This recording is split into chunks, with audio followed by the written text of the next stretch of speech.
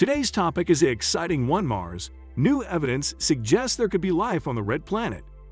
Recent discoveries by NASA's Perseverance rover and the European Space Agency's ExoMars mission have provided new evidence that there may be life on Mars. Watch this video for more clarity on any life form on the planet Mars.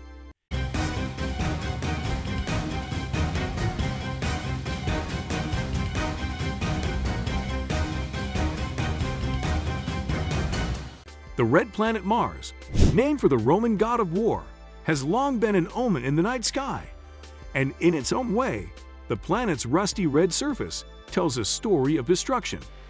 Billions of years ago, the fourth planet from the Sun could have been mistaken for Earth's smaller twin, with liquid water on its surface, and maybe even life. Now, the world is a cold, barren desert with few signs of liquid water. But after decades of study using orbiters, landers, and rovers, scientists have revealed Mars as a dynamic, wind-blown landscape that could just maybe harbor microbial life beneath its rusty surface even today. Longer year and shifting seasons. With a radius of 2,106 miles, Mars is the seventh largest planet in our solar system and about half the diameter of Earth. Its surface gravity is 37.5% of Earth's, recent NASA exploratory expeditions revealed some of the red planet's biggest mysteries. This video explains what makes it so different from Earth and what would happen if humans lived there. Mars rotates on its axis every 24.6 Earth hours, defining the length of a Martian day, which is called a sol, short for solar day. Mars's axis of rotation is tilted 25.2 degrees relative to the plane of the planet's orbit around the Sun, which helps give Mars seasons similar to those on Earth. Whichever hemisphere is tilted closer to the Sun experiences spring and summer, while the hemisphere tilted away gets fall and winter. At two specific moments each year, called the equinoxes, both hemispheres receive equal illumination. But for several reasons, seasons on Mars are different from those on Earth. For one, Mars is on average about 50% farther from the Sun than Earth is, with an average orbital distance of 142 million miles. This means that it takes Mars longer to complete a single orbit, stretching out its year and the lengths of its seasons.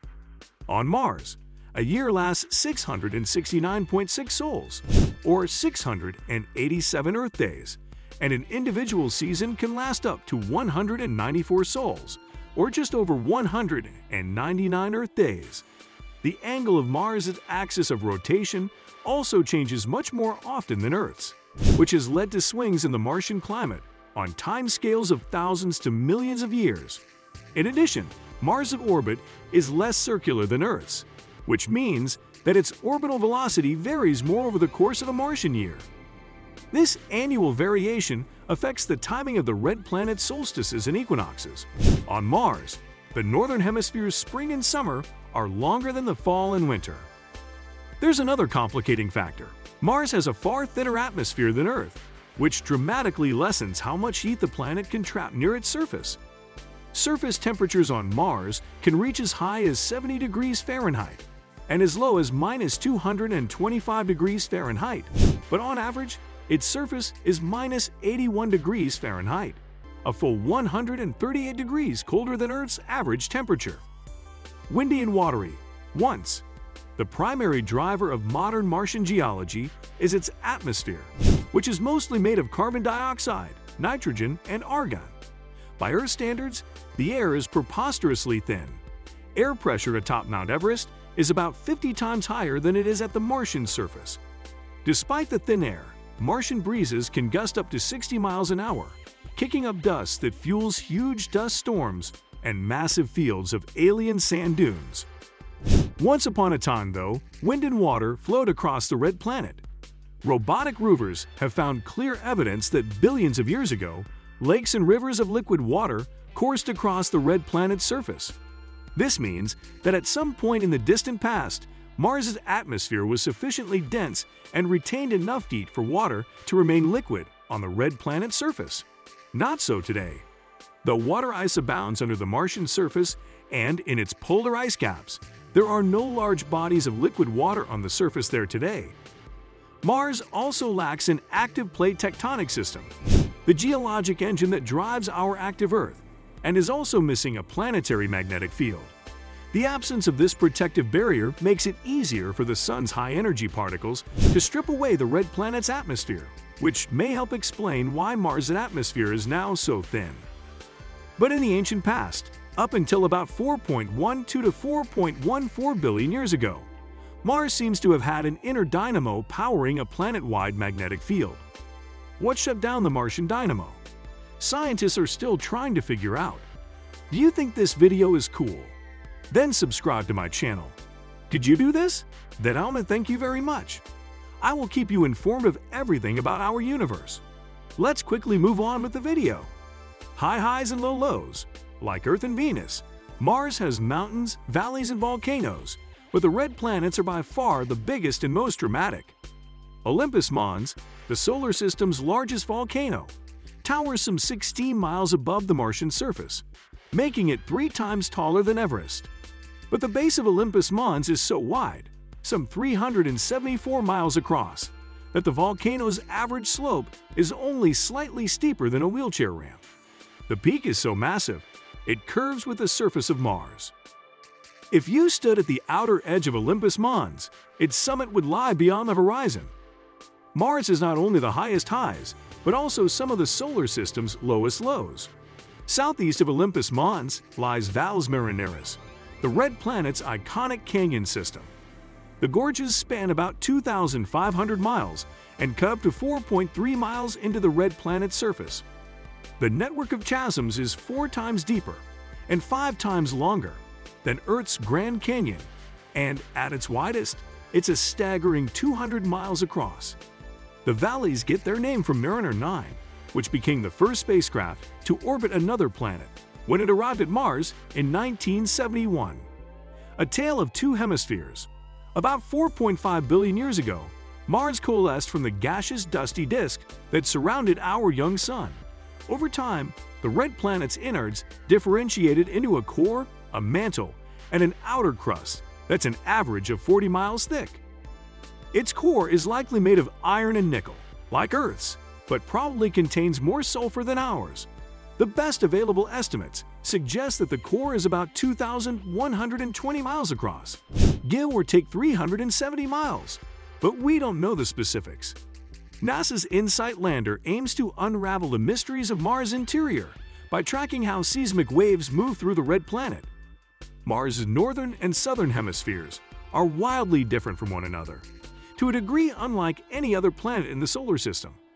The planet's northern hemisphere consists mostly of low-lying plains, and the crust there can be just 19 miles thick.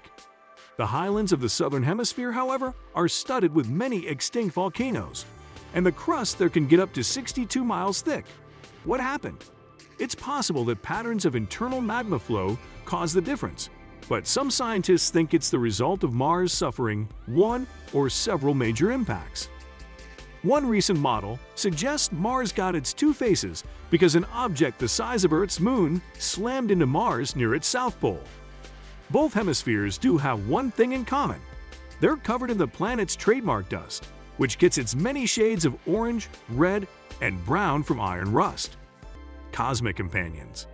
At some point in the distant past, the red planet gained its two small and irregularly shaped moons, Phobos and Deimos.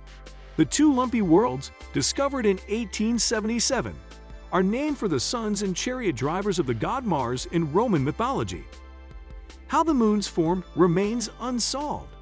One possibility is that they formed in the asteroid belt and were captured by Mars's gravity. But recent models instead suggest that they could have formed from the debris flung up from Mars after a huge impact long ago. Deimos, the smaller of the two moons, orbits Mars every 30 hours and is less than 10 miles across. Its larger sibling Phobos bears many scars, including craters and deep grooves running across its surface. Scientists have long debated what caused the grooves on Phobos.